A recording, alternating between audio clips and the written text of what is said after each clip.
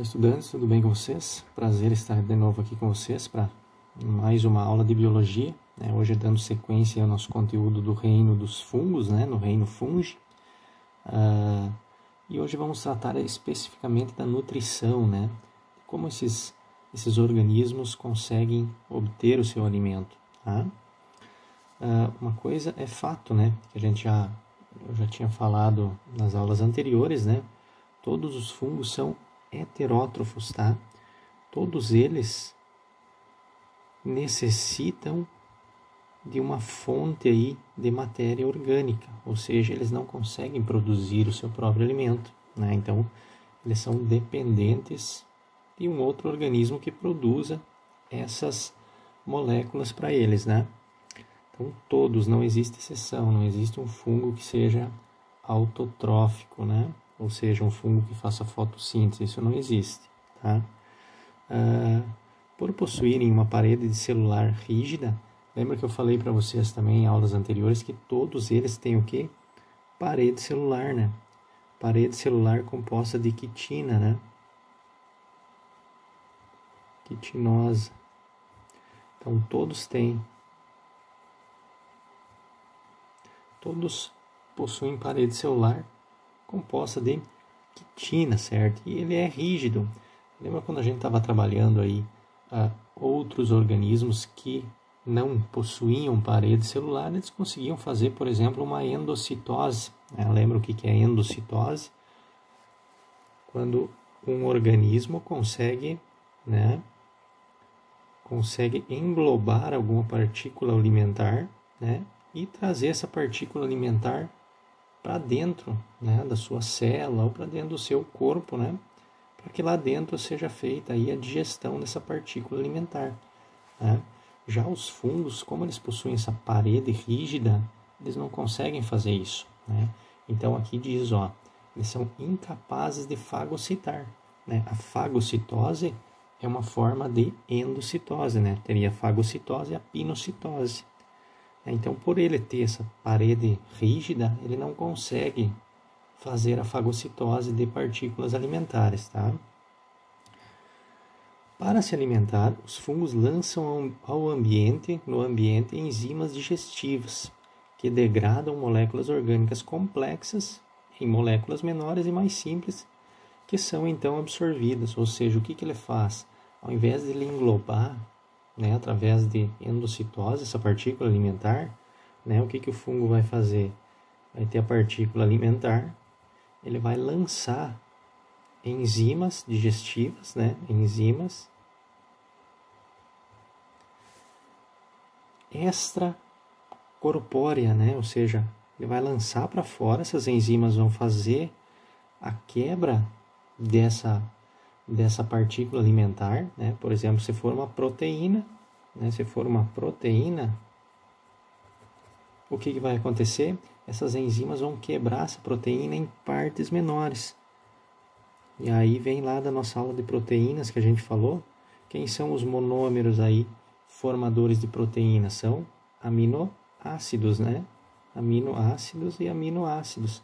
Então, essas enzimas vão ser lançadas elas vão quebrar essa molécula de proteína complexa em monômeros, em moléculas menores, que aí sim o fungo vai absorver essas moléculas menores aqui, tá? Certo? Menos complexas, como diz aqui, mais simples, né? A absorção ocorre principalmente pelo ápice, em crescimento das hifas ou em, suas, em, ou em sua proximidade. Lembra que nós falamos das hifas na aula passada? Né? A IFA está aí, né? Então, aqui, na, aqui no início dela, ou na parte mais extrema, é a parte, então, é a, o ápice de crescimento. Então, ela está crescendo para esse lado aqui. Então, é nessas regiões aqui que vai ocorrer o que? A absorção. A absorção, ela ocorre nessas, nesses ápices de crescimento aqui. Então, essa parte desses ápices aqui é que vão aí então fazer a absorção dessas moléculas mais simples, dessas moléculas menores, tá certo? Então a, a, a forma de uh, nutrição deles, a gente pode dizer que eles fazem uma digestão, ó, digestão extra corpórea. Certo? Por quê? Porque é uma digestão fora do corpo do organismo, né? Se o fungo for unicelular, é fora da célula, né? Extracelular ou extracorpórea, no caso dele ser composto de uma célula só. Né? Então, a forma de digestão desses fungos é digestão extracorpórea. Por que, que ele não consegue fagocitar? Porque ele tem uma parede muito rígida que impede ele de fagocitar partículas de alimento, tá certo? Ok?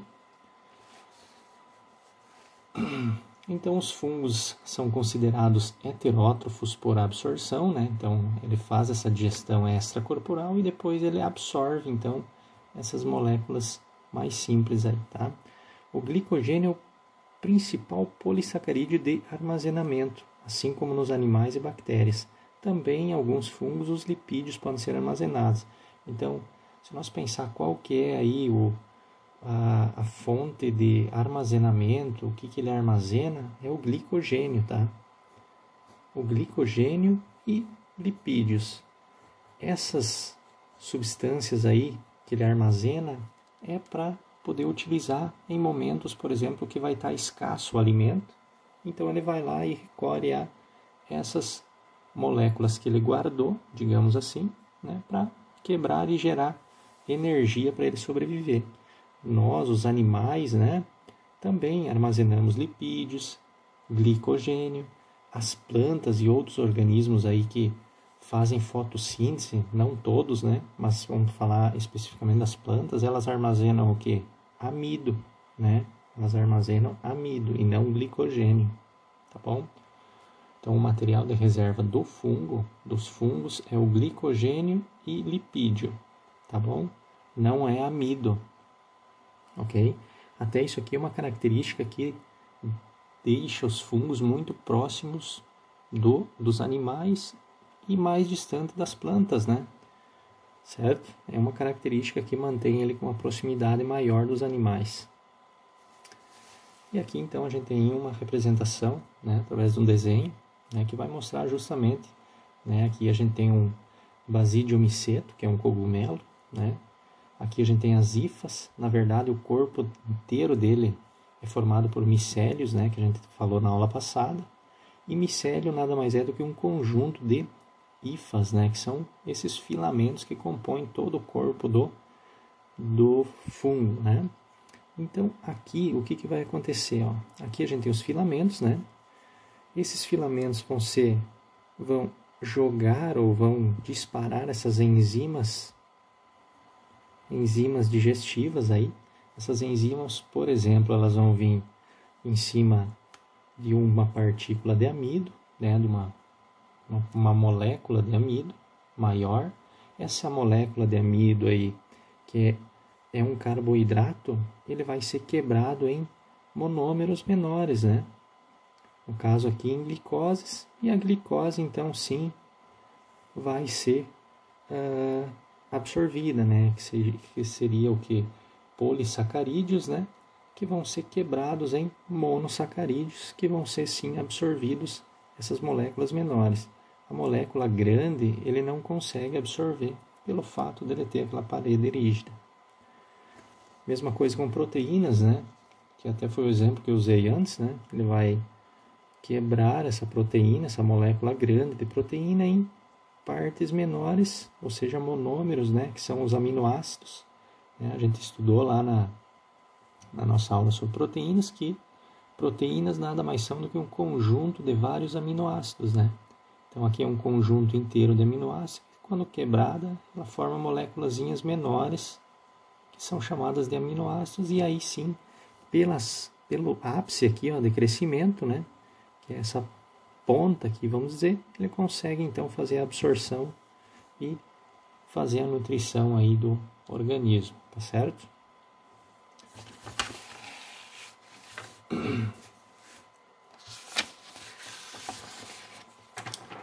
Nós temos aí alguns tipos de uh, fungos quanto né, à nutrição. Então a gente consegue classificar esses fungos quanto ao tipo de nutrição que eles fazem.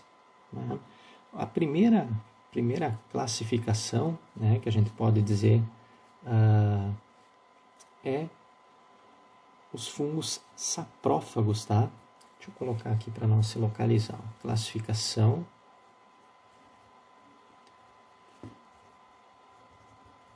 Classificação quanto a nutrição. Classificação quanto à nutrição ou quanto à forma de obter o alimento. Né? Então existem aí, a primeira classe é os fungos saprófagos ou os fungos decompositores, tá? Então aqui, ó, os fungos saprófagos, juntamente com a grande parte de bactérias, são os principais decompositores da biosfera. Então assim, ó, uh, quando você fala em decomposição, você está falando em bactérias e fungos, né? E esses fungos que auxiliam aí nesse processo de decomposição, que nada mais é do que uma ciclagem de nutrientes, né? Eles são chamados de fungos saprófagos. Tá? Uh, eles promovem então a ciclagem de nutrientes e eles obtêm nutrientes de matéria orgânica morta. Tá? Então, eles obtêm os seus nutrientes de, de algo que já está morto. Ó. No caso aqui, por exemplo, uma laranja que já caiu, né, ela está ali ela vai entrar em decomposição. É um serviço para o meio ambiente que os fungos e as bactérias fazem. Porque aqui ó, você tem as moléculas orgânicas aqui, que não estão disponíveis para uma planta, por exemplo, absorver os nutrientes daqui. O que, que precisa acontecer? Esses fungos e bactérias vão fazer a decomposição dessa laranja e vão devolver para o solo nutrientes que aí sim uh, a planta conseguirá aí novamente absorver e dar sequência aí no ciclo, né, na cadeia alimentar. Tá? Aqui também a gente tem uns cogumelos né, em cima aqui de um tronco de árvore, né, fazendo essa decomposição. Eles aproveitam a matéria orgânica né, para formar aí a energia para eles e acabam devolvendo também para o solo aí principalmente nutrientes aí, uh, moléculas nitrogenadas para o solo, que vai ser utilizada aí, uh, que vai ser utilizado pro pro para uma planta, né, fazer essa essa esse novo crescimento, tá? Porém também pode causar algum tipo de problema, principalmente aqui uh, questão de alimentos, né? Se você não conserva muito bem, o alimento ele pode sim ter problemas, tá certo?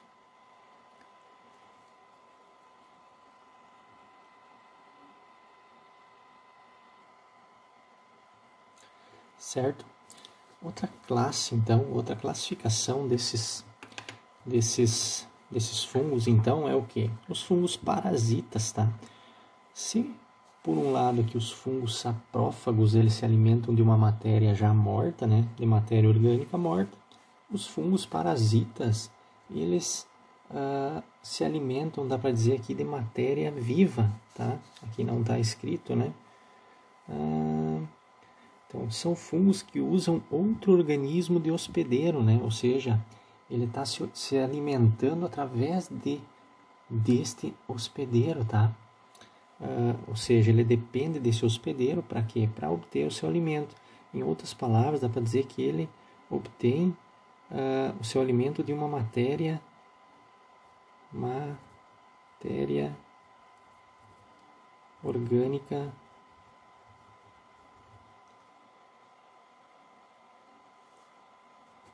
viva, tá? Matéria orgânica viva, ou seja, ele está ali né, tá uh, vivendo às custas de um outro organismo. Ou seja, para ele, ele está se beneficiando, mas o organismo que ele está tirando o nutriente, ele está prejudicando. Né? E muitas vezes são justamente aqueles que causam problemas. Né? Se nós pensarmos nos seres humanos, são aqueles que causam doenças, né? a micose. Né? A micose, tenho uma foto aqui ó, da micose, né? mas é algo muito comum, né? Principalmente em regiões, né, aqui, a, a foto não dá para identificar muito bem, né? Saiu com uns traços aqui, mas é um pé, né? O pé da pessoa ela tá abrindo, né? Os dedos aqui e geralmente acontece nessas regiões aí mesmo, porque porque a pessoa acaba uh, não secando direito essas regiões aí, acaba criando então fungos justamente pela umidade que tem aí, né? E ele vai se alimentando aí da tua pele, né?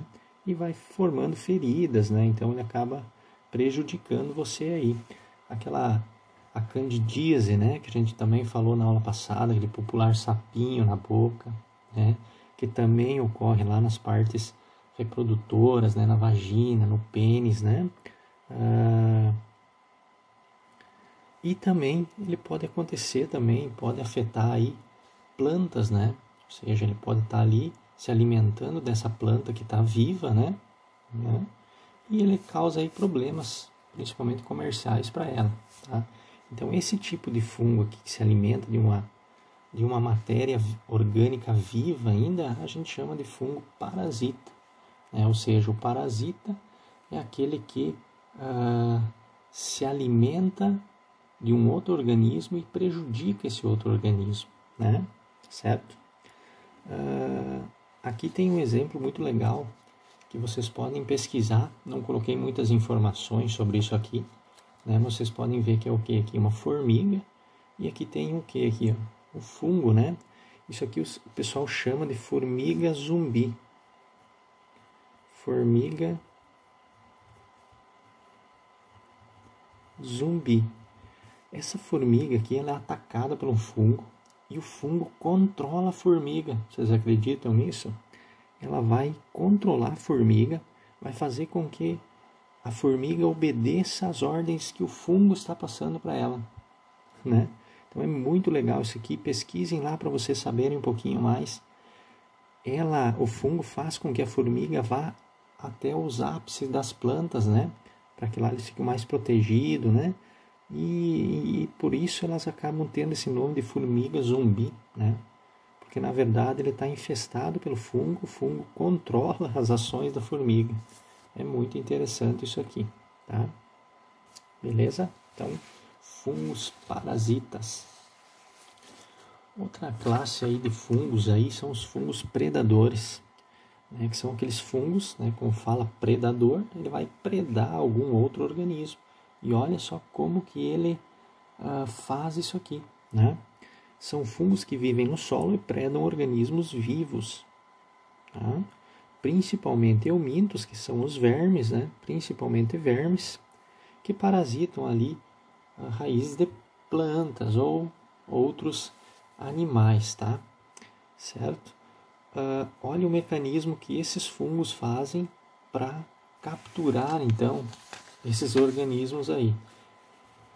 Os fungos produzem com suas hifas armadilhas sensitivas semelhantes a laços, ou seja, olha, ele faz um laço que é super sensível à presença, né? Quando o euminto, que é o verme, passa por dentro de um deles, ele se fecha imediatamente, só volta a abrir quando o organismo morre ou para de, se mexer. Então, tá ali o lacinho, né? Vem o vermezinho, passou dentro aqui, o que, que vai acontecer? Ele aperta.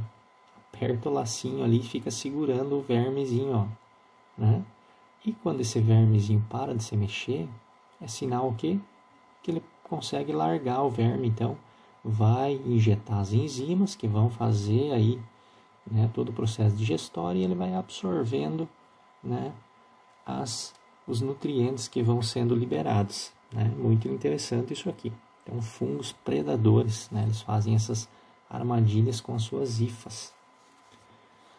Temos também aí os fungos mutualísticos, né? O, dentro, dentro de, um, de uma parte ecológica, né? Uh, nós temos associações biológicas, né? Associações biológicas e uma dessas associações simbiontes aí biológicas é o mutualismo, né? O mutualismo é quando os, os dois, vocês vão colocar assim, ó, é uma, uma relação de simbiose, né? Uma, sim, uma simbiose, que é quando dois organismos dois organismos uh, vivem juntos, juntos mesmo, né? Um ajuda o outro, um depende do outro, né? Então tem várias associações, né, de simbiose, tá? Inclusive tem ali dos parasitas também, né? O parasita é o que? Uma relação entre dois organismos, só que um sai perdendo e outro sai ganhando. Nesse caso, a relação de simbiose chamada de mutualismo, os dois se beneficiam. Certo? Nesse caso dos fungos mutualísticos, é uma associação entre fungo e mais um organismo, onde os dois ah, saem ganhando com essa associação. Né? Então, ó, existem fungos que se associam a outros organismos, estabelecendo uma relação em que há benefício mútuo para os dois envolvidos, ou seja, os dois se beneficiam com essa associação entre eles, tá? Os fungos vivem associados então a seres fotossintetizantes, praticamente sempre, né? Ou seja, porque o fungo, para ele é interessante um organismo fotossintetizante, porque ele não faz, né? Ele é um organismo heterótrofo, que a gente falou. Ele vai se associar com um autótrofo para quê? Para ele sair também ganhando alguma coisa né? Então, com plantas, algas ou cianobactérias, né? Todos eles autótrofos, seja, todos eles fotossintetizantes, cedendo-lhes parte de água e nutrientes que suas hifas absorvem do solo. Então, ele vai fazer uma associação, por exemplo, com uma, uma alga fotossintetizante, certo? Ele vai fornecer nutrientes para essa alga, em contrapartida, a alga vai fornecer o que para ele? Matéria orgânica que ela retirou do que? Através da que ela processou através da fotossíntese, né? Certo? Ó, em troca, os seres fotossintetizantes cedem ao fungo certos açúcares e aminoácidos produzidos então na fotossíntese. E os dois dessa maneira acabam aí se beneficiando, né? O fungo ele vai ganhar açúcar e aminoácidos, né? ou seja, o produto da fotossíntese. E a alga também vai ganhar nesse caso. Por quê? Porque ela vai ganhar proteção, ela vai ganhar uma maior área de absorção, muita umidade, né? que o fungo vai garantir isso para ela. Né? Então, os dois são beneficiados. Nós temos duas, duas associações mutualísticas muito importantes dos fungos, que são aqui os líquens e as micorrizas, que nós vamos falar depois um pouquinho. Né? Os líquens, então, tenho certeza que vocês já ouviram falar, né? Então, os líquens são o que? São associações mutualísticas obrigatórias. O que, que quer dizer isso aqui? Os dois obrigatoriamente precisam ficar vivendo juntos um deles sozinho não consegue sobreviver. Os dois precisam estar juntos ali naquele, naquele ambiente em que eles vivem, eles têm que estar juntos. Se eles não estiverem juntos naquele ambiente, eles não sobrevivem nenhum nem outro, tá? Então, é uma associação mutualística obrigatória entre fungos e um organismo fotossintetizante. Então, é um fungo e mais geralmente uma alga, tá? Uma alga e um fungo. Em geral, são encontradas em superfícies de rochas, troncos de árvores, folhas e no solo. Né? Pelas fotos aqui, tenho certeza que vocês, em algum momento aí de andanças pelo mundo, aí vocês viram isso aqui, num tronco de uma árvore, né? em rochas né? também, principalmente em locais com um pouquinho mais de umidade, você vê um pouco mais. Mas uh, não necessariamente em locais muito úmidos, eles vivem muito em tronco de árvores. Eu vejo muito em árvores isso aqui. Né? Bem fácil de perceber. Você viu isso aqui no árvore, você olha aí, é um líquen, né? Esse líquen aí é alga e um fungo. Pense, é um protozoário e um fungo que estão ali juntos os dois, tá? Então tenho certeza que vocês já viram isso aí em algum lugar. E os líquens, eles são classificados dentro dos fungos também. Né? Olha só, nós temos descrito 13 mil espécies de líquens. Como a gente falou agora, é uma associação mutualística obrigatória. Né?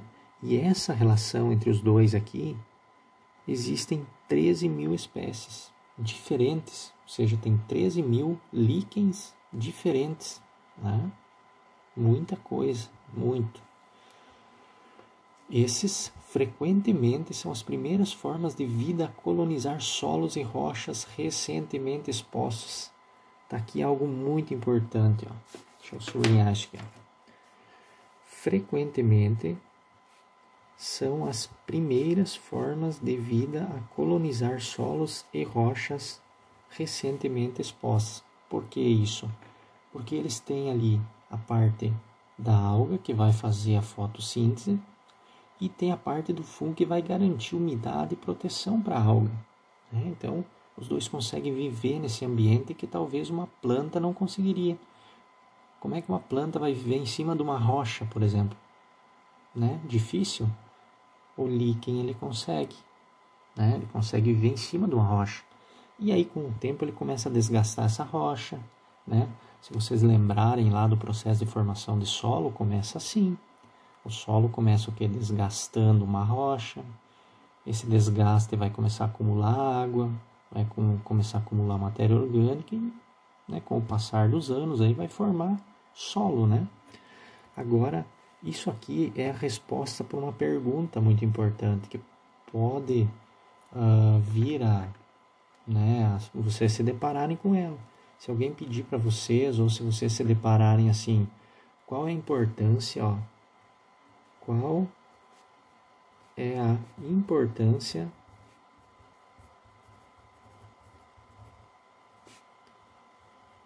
biológica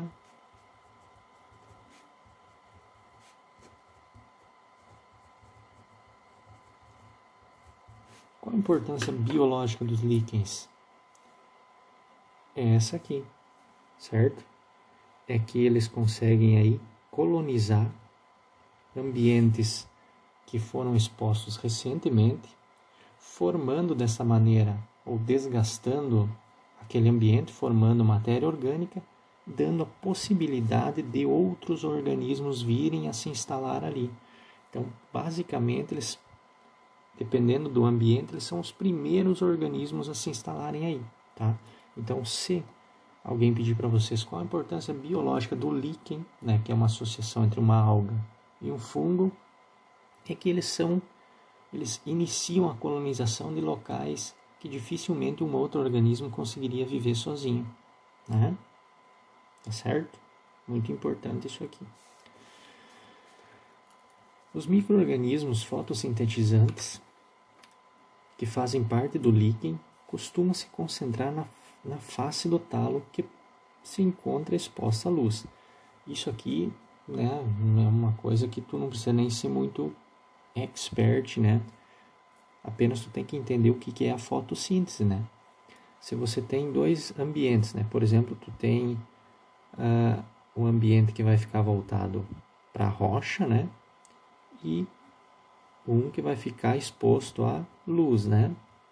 Ou seja, qual que é o organismo que vai ficar mais externamente aqui? O que faz a fotossíntese, nesse caso aqui a alga, né? E mais embaixo aqui, que é o organismo que vai fazer a absorção de água, que vai manter esse ambiente úmido, é o fungo, certo? Por que, que a alga vai ficar mais exposta ao sol? Porque ela faz fotossíntese. Lembra da fotossíntese? O que, que precisa? CO2. Precisa o que mais? H2O e luz. Se não tiver luz, não tem fotossíntese, né? Então por isso que ela fica exposta então para o lado voltado à luminosidade. Tá? As algas fornecem compostos orgânicos ao fungo, né? Produto da fotossíntese, né? Produto da fotossíntese que garante um ambiente uh, que garante um ambiente protegido com mais umidade. Isso aqui é o fungo que dá, né? Então a alga fornece o composto orgânico, ou esse produto da fotossíntese para o fungo e o fungo vai garantir esse ambiente protegido e com uma boa umidade para que a alga consiga aí se, uh, se manter viva. Né? Os líquens podem ser agrupados em três categorias segundo a sua estrutura morfológica. O que, que é estrutura morfológica? Estrutura morfológica, eu vou colocar aqui bem na grosseria mesmo, é aquilo que a gente consegue observar. Observar aquilo que tu consegue ver, né? Então o líquido, o que tu consegue ver, aquela parte morfológica dele, a parte de fora dele, né? E aí a gente tem três tipos de líquens. Nós temos aí os líquens crustosos, né? Crescem incrustados no substrato. O que, que é substrato? É o local onde ele vai crescer, seja lá numa rocha, pode ser o substrato, pode ser o solo, pode ser um, uma, um tronco, né, o caule, o caule de uma árvore, né? Então ele vai nascer incrustado, que é dessa maneira aqui, ó. Ele é bem ralo, bem baixinho, bem rente ao substrato dele, tá? Crustosos, tá? Aí tem os líquens folhosos, que são parecidos com uma folha, que é esse aqui, ó, tá? Ou seja, ele parece uns umas folhazinha, né? Mas na verdade não é, né? Não são folhas, mas ele parece, então é o líquen folhoso. E tem os líquens fruticosos, né? Possuem projeções semelhantes a dedos. Eles têm aí umas ramificações, né? Eles crescem um pouco mais, ó. E aí, claro, a há uma semelhança um pouco com uma mão, com os dedos, né? Então, os líquens fruticosos, tá bom? Então, quanto à sua estrutura morfológica, eles podem ter essas três ah, classificações aí, certo? O talo de um líquen ou corpo forma-se quando a hifa fúngica cresce ao redor das células da alga, formando uma medula. Deixa eu ver se eu tenho um desenho aqui. Aqui. Então, ó, vamos ler aqui. O talo do líquen, o corpo, forma-se quando a hifa fúngica cresce ao redor das células da alga, formando uma medula. Né? Olha aqui, ó. Temos as hifas. Esses verdinhos aqui são o que?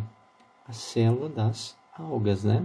E ele cresce ao redor aqui, ó. Né? Estão vendo? As hifas crescendo ao redor aqui, formando o que? Uma medula, né? então é chamado de medula isso aqui, tá? onde as hifas estão enroladas nas células das algas. A hifa fúngica projeta-se abaixo do corpo do líquen, formando resinas ou estruturas de fixação, que são essas aqui embaixo. Ó. Então, além da medula, essas hifas crescem, passam pelo córtex, que eu já vou falar dentro do córtex, e vão servir como se fossem um, uma âncora, né? Vão segurar, por exemplo, se aqui é uma, um tronco de uma árvore, vão fixar o líquen, então, lá no substrato, tá? Ou na rocha, ou sei lá, aonde ele estiver vivendo, tá bom? A hifa fúngica forma também um córtex ou capa protetora,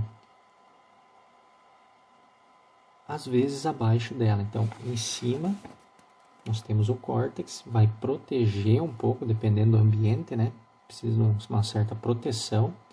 E principalmente na parte inferior aqui, uma certa proteção também dessa medula aqui, tá? Então ele protege em cima, formando esse córtex e um córtex na parte inferior também, tá bom? Sempre formado então pelas hifas do fungo, tá? Após a incorporação como um talo de líquen, a alga continua seu crescimento e a hifa seu crescimento e a hifa em seu crescimento pode incorporar novas células de algas. Então, enquanto as células vão se reproduzindo das algas, as hifas também vão englobando essas essas células da alga e aí vai aumentando, aumentando e cada vez crescendo mais, certo? Os líquens se reproduzem de forma assexuada através de fragmentação, que é o que? Vai perder um pedaço, pode ser por um, por um contato mecânico, algum animal enroscou nela, bateu, caiu um pedaço, né? Ou ah, na formação de sorédios, tá? Que é o mais comum de fazer porque é ela que vai formar mesmo, né? Que são, por exemplo, um sorédio seria aqui, esse pedaço aqui. Esse pedaço aqui é um sorédio, ou seja, tem pedaços da hifa do fungo e tem células da alga. Ela vai liberar esses pedaços aqui, né, esses sorédios, que vão ser lançados aí através do vento, água e outros mecanismos aí de dispersão para um novo ambiente, né? E aí ela vai chegar, por exemplo, num, numa outra, num outro caule de planta vai se instalar ali e vai dar origem aí a um novo líquido e assim por diante, né? Então, a forma de reprodução dela é forma sexuada através de fragmentação. Essa fragmentação geralmente é, é acidental, né? Pode ser aí através de, de algum animal, sei lá, né? E a formação de sorédios, que é a principal forma de reprodução deles, tá bom? A outra forma de associação mutualística que nós vamos trabalhar hoje é as micorrizas, tá? As micorrizas nada mais são do que associação de fungos, né? a maioria basidiomycetos. Mais para frente a gente vai trabalhar cada um dos grupos dos fungos, né? Aí vocês já vão saber quem são os basidiomycetos, né? Então é uma associação de fungo com raízes de plantas. Então aqui, ó, fungos com plantas, raízes de plantas. Fungos e raízes vão formar aí as micorrizas, tá?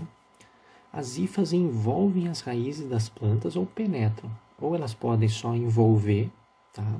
Que nós já vamos ver o nome dessa, desse tipo de hifa, ou elas podem penetrar nas células, tá? Então tem dois tipos aí de hifas, as que penetram nas, na, nas células da planta ou aquelas que só envolvem as raízes. Tá? Com isso, o fungo aumenta a superfície de absorção de água e sais minerais. Olha aqui, ó. ou seja, é um benefício para a planta ter esses fungos lá na raiz. Não concordam? Ele vai aumentar a absorção de água e sais minerais para as plantas. É o que é muito importante para elas. Em troca, a planta fornece substâncias orgânicas ao fungo, ou seja, o produto da fotossíntese, né? Ou seja, produto da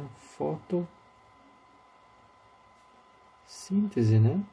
Então a planta faz fotossíntese. Para fazer fotossíntese, ela precisa sim de água, né? Tá aqui, que o fungo vai ajudar ela a absorver. Em troca, ela vai dar uma parte então dessas substâncias orgânicas, daquelas moléculas prontas para que o fungo também venha a se desenvolver. Em geral, as plantas não crescem tão bem e às vezes até morrem se forem privadas da associação de fungos, principalmente em solos pobres de sais minerais. Ou seja, tem lugares que, se as plantas não tiverem essa associação aqui, elas vão crescer pouco, né? elas vão ter problemas para crescer, principalmente em solos pobres, né? é difícil de, de ter água, difícil de ter sais minerais, então o fungo ele vai maximizar esse, essa absorção e vai manter aí essa planta com maior expectativa de, de vida, né? Então vai ser bom para os dois, por isso uma associação mutualística. Então aqui a gente tem a, a raiz, né? Ó, a gente tem as raízes e aqui é incrustado, então dentro das raízes a gente tem quem? O fungo, né? As hifas do fungo. Que elas aqui dão a impressão de ser até outras raízes da planta mesmo, né? E o fungo está ali, né, vivendo bem tranquilão aí junto com a planta e a planta também está agradecendo porque ele também está absorvendo, ajudando ela a absorver aqui água e nutrientes, né? Nutrientes que são importantes para o crescimento dela a água para que ela possa aí fazer a fotossíntese, né? Aqui também a gente tem outros exemplos, né? Olha como aumenta aqui ó, nessas imagens eu coloquei para vocês verem, ó. Aqui tá as raízes da planta, ó. Viria até aqui, ó. Esse era o campo onde as raízes alcançariam, ó. Então ali as raízes, ó. Olha quanto mais aumentou a área aqui, ó. Olha aqui onde veio, ó. Estão vendo? Olha o quanto aumentou a área de absorção dessa planta aqui, ó. Né? Muito maior, ó.